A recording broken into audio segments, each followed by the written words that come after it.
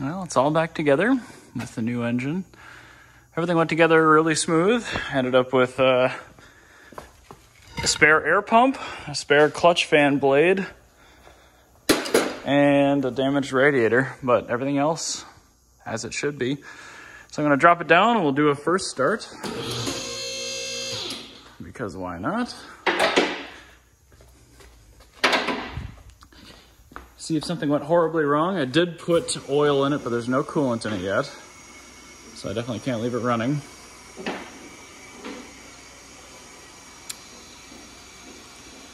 Still curious nonetheless to see if everything went smoothly, because it has been, I think the car has been apart for about a month.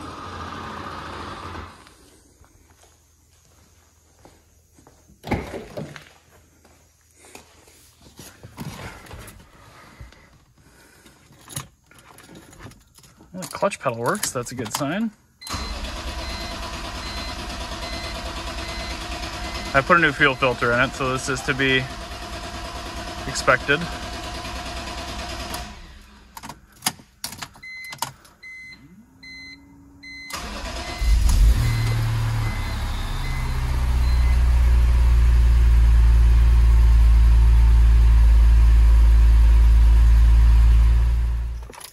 Filter housing was dry. Pulled the fuel pump relay.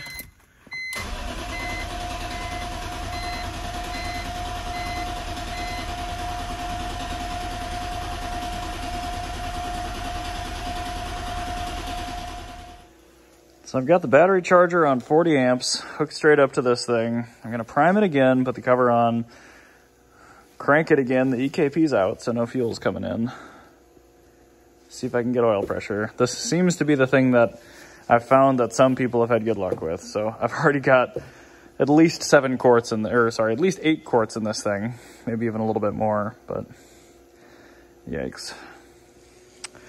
And I can't remember if I mentioned it, but I did pull the plugs.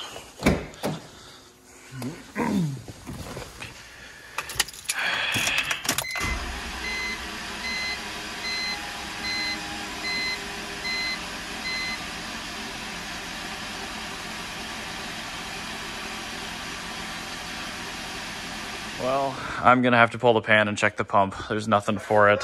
Um, oh, sorry. Watching the live stream to Classic Daily, part three on the K-swap stuff. I also do have a uh, fuel leak.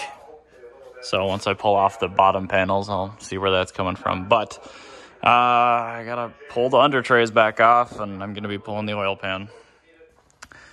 All right, so subframe is down. Um, I'm gonna pull the pan. I do still have to uh, loosen the dipstick tube thingy up there. Uh, there's an oil drain tube to the airbox, which I'll probably pull out of the airbox. And then the valve cover oil drain as well. I pulled like 12 quarts of oil out of the pan because obviously I was filling the bejesus out of it.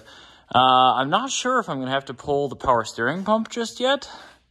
It looks like it might clear without it. Ah, probably pull the back bracket though, just to give myself as much room as possible. Then pull the pan, see what we got. Worst case, I'll rip the pump off of the good S54 and throw it in here. I just want this car off the lift. I will say, it only took like 15 minutes to get this far, so uh, E46 has the best designed steering coupler of any vehicle I've ever worked on by a not insignificant margin. So, not safety wired, but definitely in place.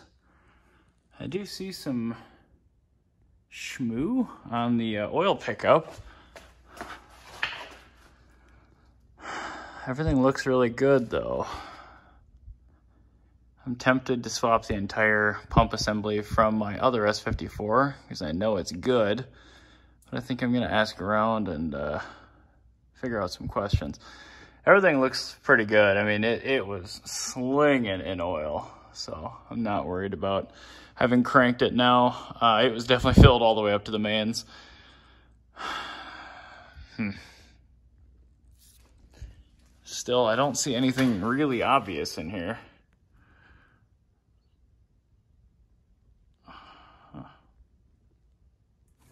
So, just got done with the O'Reillys, picked up an entire enormous tube of this lube. I am uh, hoping that packing the oil pump with that will solve my problem. That's the only thing I got from a couple of my uh, shop foreman buddies that run both of the service departments at the local BMW dealerships. So I'm going to try that. Um, I should be able to put uh, put that lube in the pump, put it back together, fill the pan, at least enough to get oil pump prime and crank it before even putting the subframe back in. So if I have to pull it again, I should still have flexibility to do that. Uh, I reached out to a friend locally that I sold an S54 pan and pump set to about four years ago uh, for an E36 track car, but he ended up selling the car before they uh, did the pan conversion. So he's only five miles from my shop and he still has it. Uh, that would potentially save me from having to pull the known good pump assembly off my old S54. But the pump on the new one's only got 38K on it, I think, so I think I'm just gonna pack it and cross my fingers. So wish me luck. So the S54 uses a tensioner on the oil pump chain and it's reverse thread. So uh, lefty tighty, righty loosey. I am going to get a small flat blade in the middle there and a wrench, and I'm going to very carefully loosen it up by tightening it, sort of. All right, so time to whip the 10 mils off, and I've been told that there's nothing special about the inside of this, so we'll see. I, I don't know, we'll see. Oh no, there's no light. Hold on. So I gotta finish packing this crap in, but uh, plan is to pack that in and the entire front housing and then put it back together. All right, well getting it back in is much easier because you're not fighting against a uh, tensioner. But I did get it all back together. I'm just waiting for my roommate now to uh, arrive with pan gaskets. This one looks like it had the original on it and probably had been even reused. Um, but I have a bunch of those in stock at home. So like I said, just waiting for that to show up. I'll stab that on here. And once that's in place, I am planning to throw the pan on it, uh, put I'll say probably full seven quarts of oil in it. Um, and then crank it over with the subframe still down, just in case I have to pull it again. And we'll see. I will remain hopeful that uh, it will get prime immediately, and then this will be the only time I'll ever have to think about this. But uh, in the case it doesn't, I'll have to pull this back off and replace the entire oil pump assembly and try again.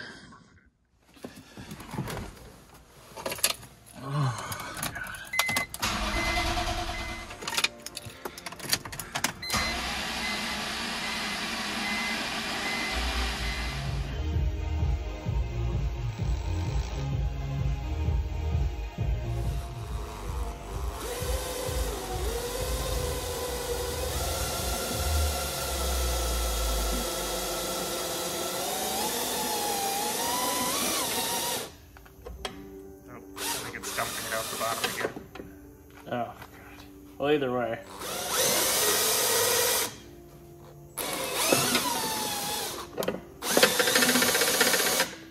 No dice. So, pump is fucked. So, if we see oil coming up through there, it's a good sign.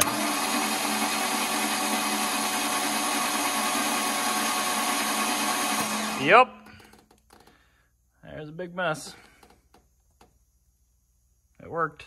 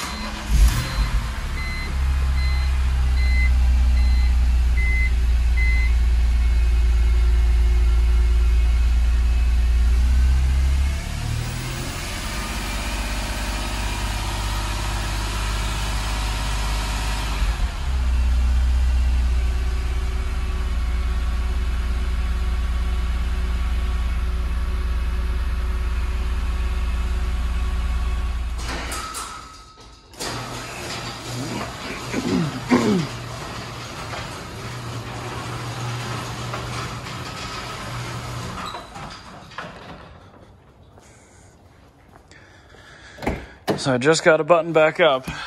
Put some coolant in it. It has started once, but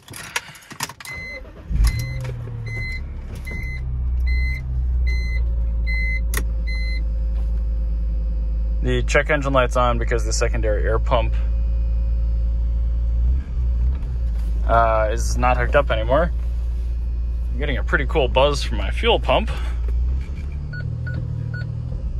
Oh, I just remembered I changed the clutch in this car. I haven't driven it with that yet either. Take it just on a really quick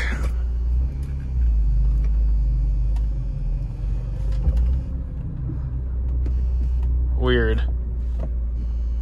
Oh, the buzz is coming from the taillights. It's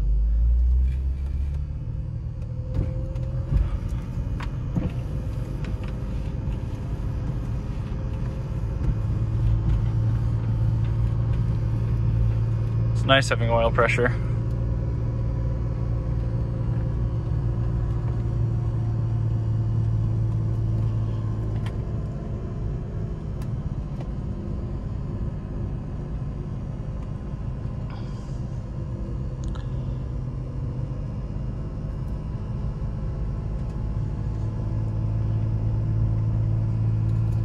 Suppose I'll turn up the uh, temperature. These on. See if I do end up getting heat. Probably won't be that quick, obviously. I'm sure we still have some air pockets in the cooling system anyway.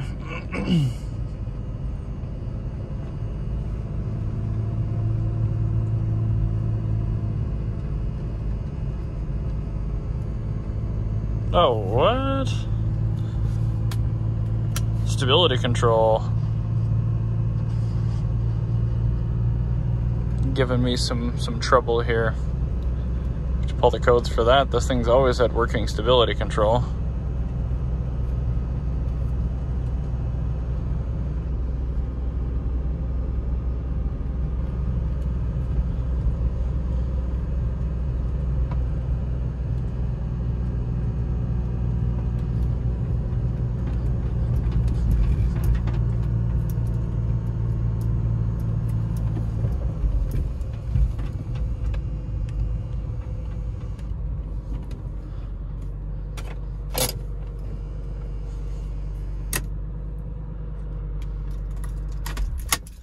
Runs nice.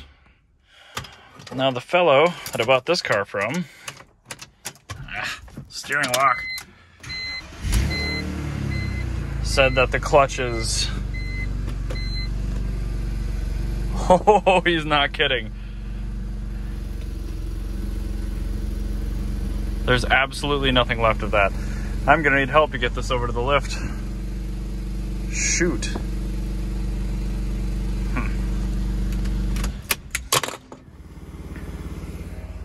So I forgot I had my old winch down here. I haven't used it in forever, but let's give it a go.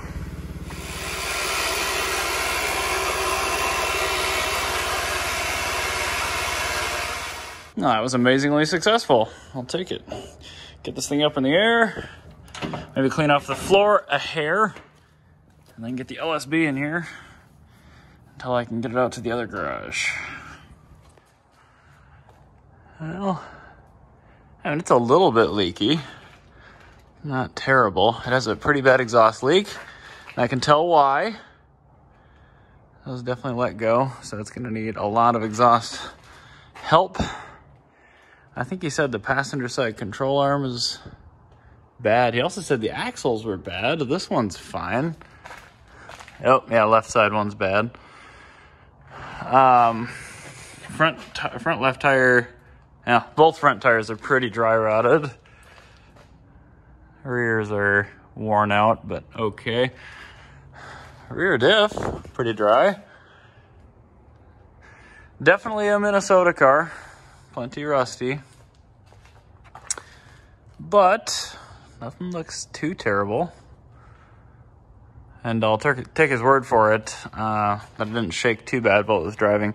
Usually the rear drive shafts or the front drive shafts are the things to go. Uh, can't even tell. Looks like it has a LuK LF30 pump. That's nice. And, oh, I'll have to zip tie stitch this back together. Can't have that on our faux M-Tech bumper. And I will take my scene points to go. Fixed right up. It's a fake M-Tech bumper anyway. Crap quality. So, uh, ended up changing out the oil pump on the Laguna Seca Blue car. Um, it did end up priming immediately after that, but nothing I could do would make the old pump prime. I do still have to pull it apart and autopsy it because I'm curious, but there you go.